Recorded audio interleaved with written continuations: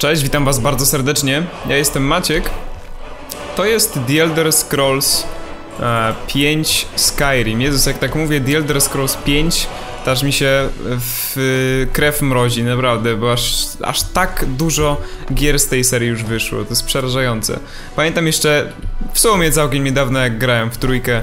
Pamiętam też w sumie całkiem niedawno jak grałem w dwójkę, także ta Um, ta seria tak się posunęła do przodu, że to jest aż niewyobrażone, że aż tyle gier z tej serii powstało. Oczywiście nie jest to nic złego, wbrew e, temu, e, jak się wydaje.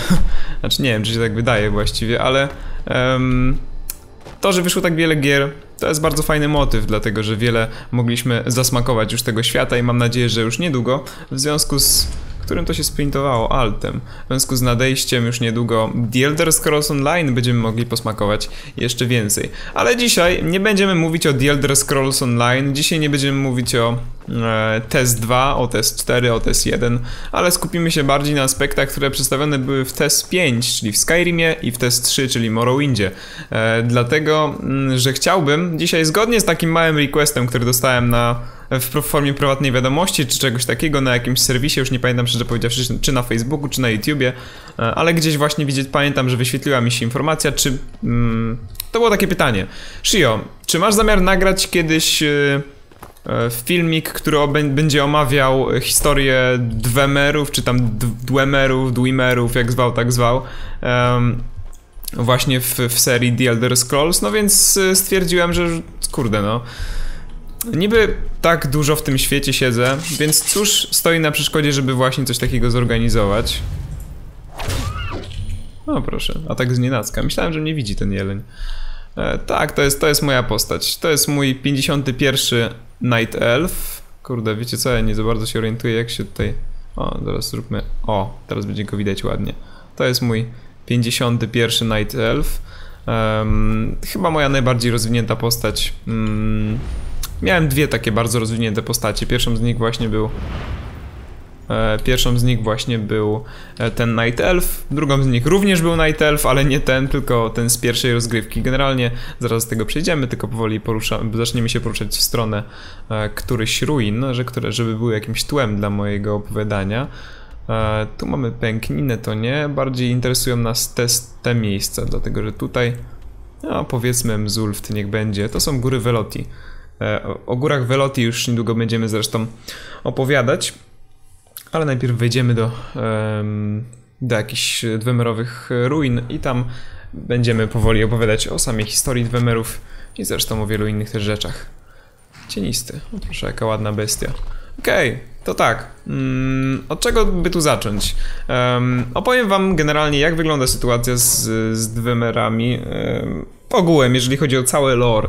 Poddam wam taką małą jakąś, e, nie wiem, wskazówkę czy coś takiego um, na temat właśnie ich pochodzenia i tak dalej, skąd się to wszystko w ogóle wzięło. Zobaczcie, tutaj mamy przykłady jakichś dwemerskich trybów, e, różnych talerzy i tak dalej. Zawsze pamiętam, jak grałem w Morrowinda, to niesamowicie uwielbiałem zbierać z wszystkich ruin, wszelkiej maści właśnie takich, takie naczynia dwemerowe, dlatego, że one były dosyć unikalne, a to mi się bardzo, bardzo podobało. Tutaj z kolei też są, jest, jest metal oczywiście dwemerowy, E, jakieś tam elementy dźwigni, mechanizmu, przekładnie, tryby i tak dalej, tak dalej. Jakieś ciężkie płyty e, dwemerowe. Tutaj jest oświetlenie dwemerowe, które wygląda na gazowe.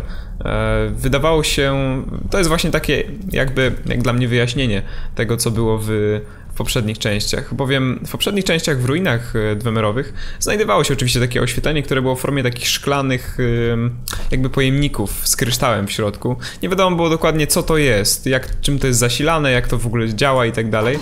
To bardzo tak przypomina jakąś taką nie wiem, starożytnego Egiptu? Nie wiem.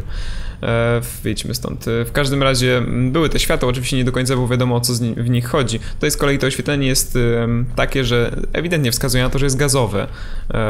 A tam też to całe oświetlenie i tak dalej było montowane na rurach. E, właśnie w starych dwemerowych ruinach, bo one nieco inaczej wyglądają w Skyrim, jak i w poprzednich częściach. Także w Morrowindzie właśnie było tak, że one były montowane na rurach, te oświetlenia najczęściej, e, co wskazywało na to, że być może one są jakoś zasilane tą parą wodną lub tym innym gazem, który przepływa właśnie przez te rury po całych dwemerowych ruinach. Mm, no i teraz wychodzi na to, że to jest jednak właśnie jakiś gaz, tak jak mówię, jakiś gaz palny, który oświetla e, tutaj okolice. Ciekawe jest to skąd się taki gaz bierze, dlatego że te ruiny mimo, że już dawno, dawno, dawno e, nie funkcjonują, znaczy nie tyle nie funkcjonują, bo funkcjonują dalej, widzicie, wszystko działa, tryby się, e, się aktywnie Zobaczcie, tu mamy tą parę wodną, która wylatuje, czy, czy inny gaz, nie wiadomo co to jest dokładnie. E, w każdym razie... Um, o czym tak mówiłem, zgubiłem trochę wątek przez tą parę i przez te dziury. E, o! Znaczy, tu jakaś jest pułapka, nie wiem czy to zrobimy, żeby na nią nadepnąć. Ta pułapka to jest chyba jakiś... Spróbujemy nadepnąć. Chociaż nie, bo ja nie uaktywniam pułapek, tak? A muszę na nią skoczyć? Nie. Nie uaktywniam pułapek, dlatego że mój e, level 51 e, Night Elf niestety mm, ma taki skill, który pozwala unikać takich pułapek. Um, Okej, okay. przejdźmy do historii Dwemerów. Nie będę się plątał jakoś szczególnie, bo tylko będę gubił wątek co chwilę. Badacz synodu, o proszę. Okej, okay, e, więc tak. E, skąd właściwie wzięli się e, Dwemerowie? Skąd wzięła się nazwa? Co ona oznacza? E, więc jeżeli chodzi o Dwemerów, to nazwa oznacza... Mm, ludzie głębi. W sensie nazwa Dwemer, Dwimer, Dwaymer czy um, po prostu Dwemer, to się różnie czyta. Różnie czytają to postacie w samym The Elder Scrolls, różnie nazywają to fani. E, wymowa jest po prostu różna w różnych jakby krańcach e, The Elder, świata The Elder Scrolls oczywiście, chodzi mi o Tamriel. Ta wymowa się różni w niektórych... O proszę, mikstury nie zauważyłem jak przychodziłem kiedyś. E, ta wymowa się różni, e, także nie można jednoznacznie określić jak e, Dwemerowie, ja mówię po polsku, jak Dwemerowie, znaczy z, polskiej, z polską wymową, nie można jednoznacznie określić jak Dwemerowie sami siebie nazywali. Dlatego właśnie trzeba się stosować, znaczy trzeba po prostu mieć wzgląd na to, jak nazywają to inne rasy już w tych dzisiejszych czasach. Dlatego, że jak wiadomo, Dwemerowie żyli dużo, dużo, dużo czasu przed akcją Skyrima, Mm, też całkiem sporo czasu przed akcją Morrowinda, e, także mm, wiadomo, że te wszystkie elementy się zatarły troszeczkę. Ok, ja tu mam wszystko potwierane. Widzę, że ruiny są puste, więc nawet nie będziemy musieli jakoś szczególnie się um, szczególnie się tutaj męczyć z jakimiś stworami. Widzicie, tryby wszystkie działają, zębatki i tak dalej. Um, proszę, pompy jakieś ciśnieniowe, inne dziwactwa. E, ruiny dalej pracują, mimo że minęły już tysiące, tysiące lat od czasu, kiedy zniknęli z nich ostatni mieszkańcy. Co prawda w niektórych miejscach faktycznie wyglądają one na nieco uszkodzone, jak na przykład tutaj. Zobaczcie. Ehm, skały zawaliły się niestety tutaj e, i uszkodziły kawałek ściany, aczkolwiek cóż, no, już zaczęły rosnąć jakieś roślinki, inne dziwne takie elementy. No więc wracając do Dwemerów, wymowa jest jaka jest. Jeżeli chodzi o ich pochodzenie, e, to ciężko jest jednoznacznie określić skąd pochodzą. Wiadomo, że mm, ich rdzenną, rdzenną okolicą taką zamieszkania e, jest e, Dwemereth, czyli inaczej tak to określali właśnie Dwemerowie swoje, swoje siedzisko, a tutaj chodzi konkretnie oczywiście o okolice Morrowind. Jeden z klanów był też na wyspie Strosem Kai, do czego zaraz przejdę. E, to jest wyspa w, w prowincji Hammerfell, jeżeli mnie pamięć nie myli. Patrzcie ile badaczy synodu. Mhm. Mm, w każdym razie... O, zwój paraliżu. Torba aptekarza. Mikstura kondycji, dobra. E, w każdym razie... Dwemerowie pochodzili raczej z Dwemereth, y, z okolic, w których później osiedlili się także e, Dunmerowie, mm, z, z którymi zresztą później um, nasi kochani Dwemerowie mieli um, mały problem. Co to jest za linka? Aha, jakieś, jakaś już uszkodzona. Coś już zawaliło, widzę wszystko. Okej, okay, e, więc tak, e, jeżeli chodzi o samą mi historię, mm, pierwsze wzmianki właściwie nie wiem kiedy dokładnie się pojawiły na temat, na temat y, właśnie um, Dwemerów. Wiadomo też, że prócz właśnie wyspy Strosemkai i, um, i okolic Morrowind, generalnie prowincji Morrowind, um, Dwemerowie mieli też swoje siedziska właśnie w Veloti Mountains, czyli w górach Velotiego, e, proroka Velota w sumie, nie Velotiego. Tutaj właśnie w Skyrim i my jesteśmy właśnie w jednym takim z kompleksów, który jest właśnie zbudowany w tych e, górach, o których właśnie mówię. Zobaczcie, jaki ten kompleks jest całkiem spory. Rzut tej rzeczy można wyciągnąć z nich. Widzicie, żyroskopy i tak dalej. Sporo, sporo. Technologicznie e, Devemerowie byli zdecydowanie najbardziej zaawansowaną rasą w historii całej gry. Wciąż, nawet w dzisiejszych czasach, ciężko jest dogonić jakiejkolwiek rasie ich postęp technologiczny. Bóg wie, co by się stało, gdyby Dwemerowie nie zniknęli, um, tylko żyli dalej i byli też aktywni nawet w tych czasach. A propos ich zniknięcia, e, wiele osób też się zastanawia, jak to się stało, że Dwemerowie zniknęli. W, e, w samym The Elder Scrolls 3 Morrowind ciężko, a czy było dosyć trudno wyjaśnione to, e, a właściwie nie było to wyjaśnione prawie w ogóle, dlatego większość i tak z tych teorii to są domysły.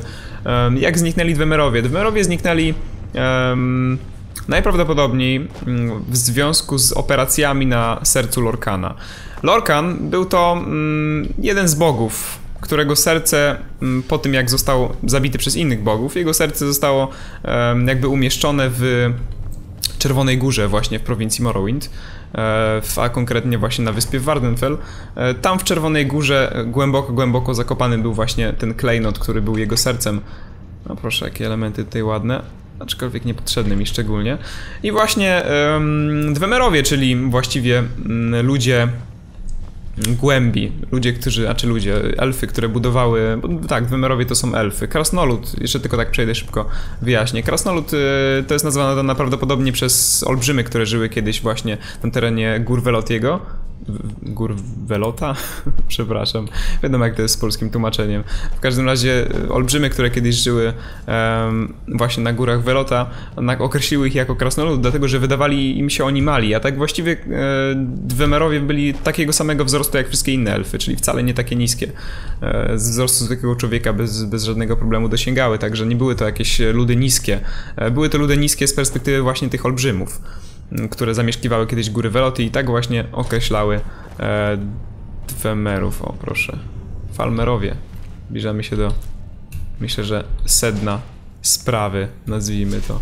Okej, okay. E, więc tak. E, do czego ja teraz mogę przejść?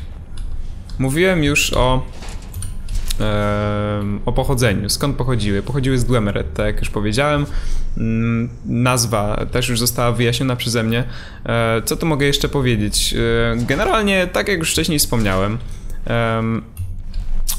w górach Veloti y, Dwemerowie budowali swoje e, siedziby. W związku z tym, o proszę, kotłownia. W związku z tym e, pojawiło się tutaj właśnie zarówno w Skyrim, jak i, znaczy no w sumie tylko w Skyrim, bo tylko Skyrim przy, znaczy jakby pokazuje tą, tą dzielnicę Tamriel. E, pojawiły się w Skyrim różne, różne ruiny właśnie, które możemy zwiedzać właśnie i wcale nie jest to jakieś zagmatwanie w lore to nawet całkiem do siebie pasuje. Dlatego, że wciąż są to całkiem spore góry, na krasnoludy jak najbardziej mogłyby tutaj zamieszkać bez większego, bez większego problemu. Byłoby im tutaj wygodnie, góry są e, dosyć spore i można w nich kopać całkiem niezłe siedziby, co jest, czego najlepszym przykładem jest właśnie to miejsce. Mm, w każdym razie, mm, Dwemerowie tutaj mm, mają siedziby, które teraz w większości zamieszkane są albo przez jakichś szabrowników, albo przez jakieś elementy właśnie, jak tutaj badacze synodu, którzy e, rozglądali się tutaj za różnymi elementami, e, ale też przez falmerów. Falmerów, czyli upadłych, e, upadłych śnieżnych elfów, którzy niegdyś zamieszkiwali prowincję Skyrim. Zostali wyparci z prowincji Skyrim do podziemi przez przez nadchodzących tutaj ludzi, przez ludy, które osiedlały się tutaj właśnie nordyckie. I wytoczyły właśnie wojnę Falmerom. Zajęły praktycznie całe, e, całą prowincję Skyrim, co zresztą teraz idealnie widać, że traktują to jako swój dom. I całkiem słusznie wygrali go e, siłą, więc należy im się to jak najbardziej. E, ale w przypadku Falmerów, dlaczego znaleźli się pod ziemią? Dlaczego znajdują się oni w miastach Dwemerów? Prawdopodobnie jest to efektem tego, że Dwemerowie na pewnym, znaczy w, w, czasie tej wojny zaoferowali im pomoc generalnie i e, pozwolili im osiedlić się właśnie w, w podziemiach, e, gdzie niestety później zaczęli przeprowadzać na samych Falmerach e, e nie za przyjemne eksperymenty, przez co e, byli oni głównie ich niewolnikami, byli e, badani przez nich, byli właśnie używani w jakichś dziwnych eksperymentach czy medycznych, czy jakichś innych. Widać w jednych e, ruinach zresztą taki stół specjalny, do którego przyszyty jest e, Falmer. I to idealnie pokazuje e, właśnie to, że byli oni przez, przez Dewemerów zwyczajnie wykorzystywani do różnych niezbyt jakoś szczególnie humanitarnych, powiedzmy, celów.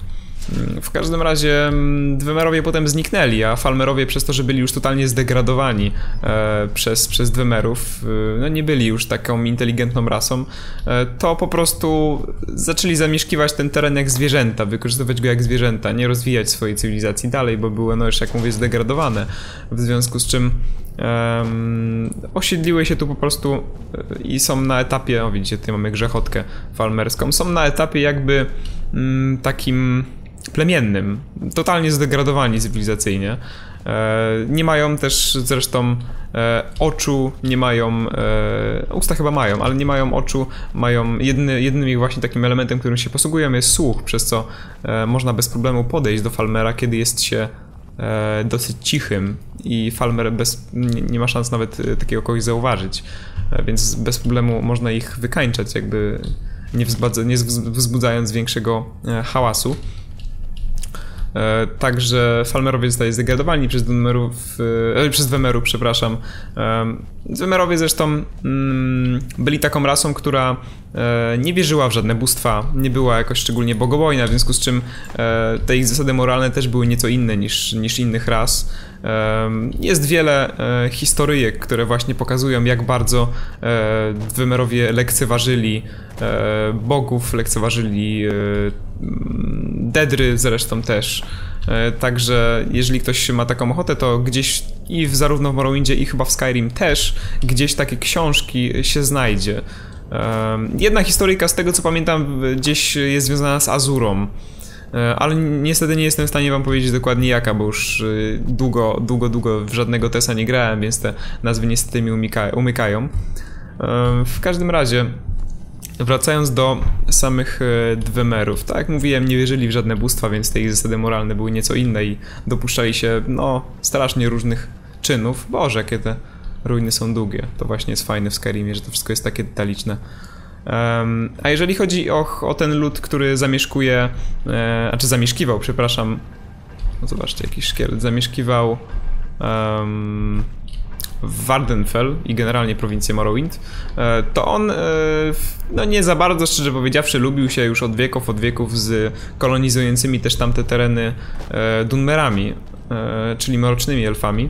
E, No były pomiędzy nimi jakieś no, nie- nieszczególnie przyjemne sytuacje, ale w pewnym momencie, gdy mm, gdy z kolei Nordowie ze Skyrim postanowili e, dokonać najazdu na Morrowind, zjednoczyli właśnie e, tym samym e, Dwemerów i Danmerów e, pod jednym sztandarem, e, żeby odeprzeć najeźdźcę wspólnymi siłami, przez co e, faktycznie Nordowie, nie, Nordom nie udało się zdobyć e, ale jedna, znaczy w sumie to nie pamiętam, czy, czy oni zdobyli w końcu to Morrowind, czy nie, ale na pewno nie udało im się utrzymać. Wydaje mi się, że nie udało im się też zdobyć e, całego Morrowind. E, wspólny wróg zjednoczył właśnie. E, no proszę. Jak tu się zmieniało te, te czary? Jakoś w ekwipunku pamiętam. Magia. Zniszczenie. I właśnie w związku z tym, że udało się. A, myślałem, że to jest gaz. Gaz? Czy to jest woda? Bóg jeden wie. E, woda, woda. Okej. mm, W związku z tym, że zjednoczyli się pod jednym właśnie sztandarem, udało im się odeprzeć bez problemów e, tych mm, Nordów e, z Morrowind i przez to powstało państwo. i, za, I powstała razem z tym państwem pierwsza rada, złożona właśnie z Dunmerów i Dwemerów. Państwo nazywało się Resdain. E, Było to właśnie takie jakby państwo w formie unii między, między a Dwemerami. E, Układało im się całkiem nieźle, aż do momentu, kiedy, no opowiadam taką bardzo skróconą historię, bo też nie chcę tutaj za bardzo kręcić się mylić, dlatego że wiadomo, że ja też już dosyć dawno nie grałem e, w żadną część The Elder Scrolls. W każdym razie... e, Wszystko im się układało dosyć dobrze, aż do wojny pierwszej rady, gdzie właśnie e, do tej pory, powiedzmy, bratnie ludy stanęły przeciw sobie e, i zaczęły właśnie tą bratobójczą walkę. Aedrom, o proszę, czymkolwiek jest Aedrom. Zaraz zobaczymy, czym jest Aedrom w Mzulft. W każdym razie wojna pierwszej rady doprowadziła do tego, no, do czego już zmierzam od samego początku zresztą te, tej, tej mowy, e, do zniknięcia Dwemerów. E, W jaki sposób? Mówiłem wcześniej o sercu Lorkana, które było umieszczone i odnaleźli Dwemerowie właśnie w górze, czerwo, w Czerwonej Górze, e, gdzie zresztą mieli stolicę. Mm, oni, jeden z inżynierów Dwemerowych, Kagrenak, skonstruował urządzenia, znaczy urządzenia, narzędzia bardziej, czerpak w wersji polskiej i brzytwę, które pozwalały kontrolować w jakiś sposób serce Lorkana i wydawać mu pewne polecenia, które on, ono miało realizować. I faktycznie przez to um, Dwemerowie zyskali e, wręcz boskie moce, wykorzystywali serce Lorkana w naprawdę różnych, różnych celach, a właściwie jego możliwości były nieograniczone i każdemu mogło dać kawał swojej no wszechpotężnej właściwie mocy. No, zobaczmy. Żelazna kuta zbroja mnie nie interesuje. W każdym razie wykorzystywali to serce Lorkana we własnych celach, ale mm, Denmerom udało się, mrocznym elfom, krótko mówiąc, udało się wywieźć w pole właściwie caluteńką armię e, przeciwnika, caluteńką armię Dwemerów, e, łącznie z wszystkimi ich robotami i tak dalej, bo jak wiecie, zaawansowanie technologiczne e, Dwemerów pozwala im na konstruowanie takich e, robotów parowych e, i robotów, e, które zresztą w sobie miały też klejnoty duszy, co zresztą widać tutaj właśnie w tej grze wywiodły, Dunmerowie wywiedli całą caluteńką armię wroga w pole, przez co mogli zaatakować bezpośrednio stolicę, um, stolicę właśnie państwa, e, znaczy państwa, właściwie to było jedno państwo, to było Resdain. E, zaatakować stolicę oczywiście ludu mm, Dwemerów. E, wkroczyła cała czwórka przywódców Dunmerowych, wkroczył słynny zresztą Nerewar, którego odrodzeniem prawdopodobnie możemy grać e, w Morrowindzie. Zachęcam do zapoznania się z historią tej gry. Bardzo fajna. Mimo, że już jest dosyć przestarzała, to warto zapoznać się z nią e, i przynajmniej wiedzieć, o czym ona traktuje. W każdym razie... Hmm, czyżby to był koniec? Chyba tak. W każdym razie mm, wkroczyło, wkroczyła czwórka przywódców Dunmerów do siedziby właśnie Mm, Dwemerów wkroczył Nervar, wkroczył Vivek, Almalexia i Sotasil. E, czyli Vivek i właściwie trzech ich generałów, którzy później stali się bogami dzięki e, mocom, które e, czerpali z serca Lorkana. Po tym jak właśnie Dumak, czyli król Dwemerów został pokonany.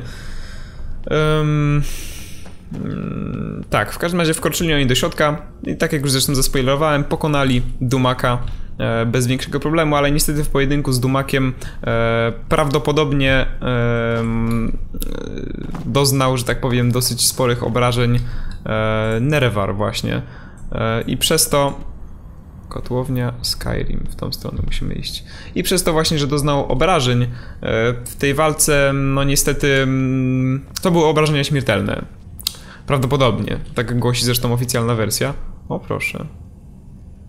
Ktoś żyje? No proszę. Co powiesz na to, żeby zabrać ten ogień gdzieś indziej? Ogień gdzieś indziej. Dobra, idziemy. Myślałem, że to jakiś przeciwnik. Okej. Okay.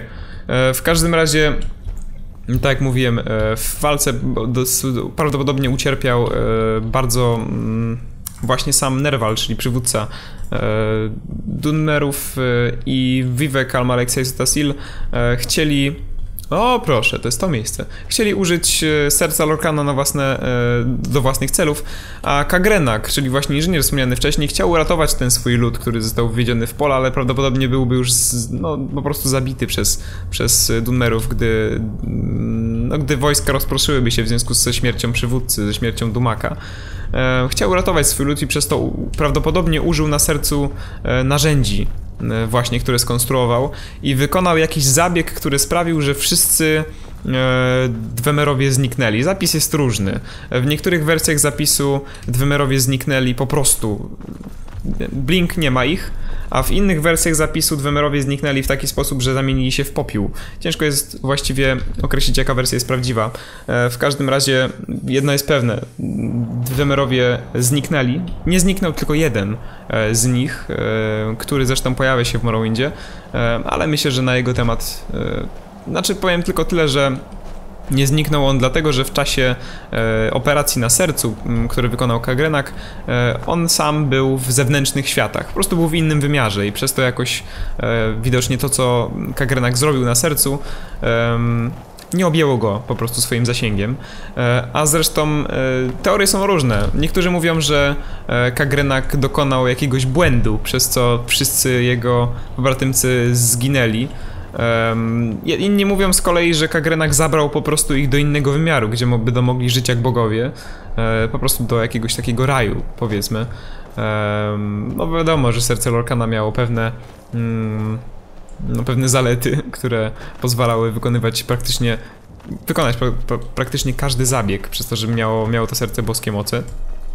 I właśnie w związku z tym różne są teorie. Niektórzy mówią, że zginęli, inni mówią, że przenieśli się po prostu do innego wymiaru, gdzie teraz żyją sobie jak bogowie. Ale jedno jest pewne, zniknęli i w całym Tamriel nie ma już ich praktycznie nigdzie.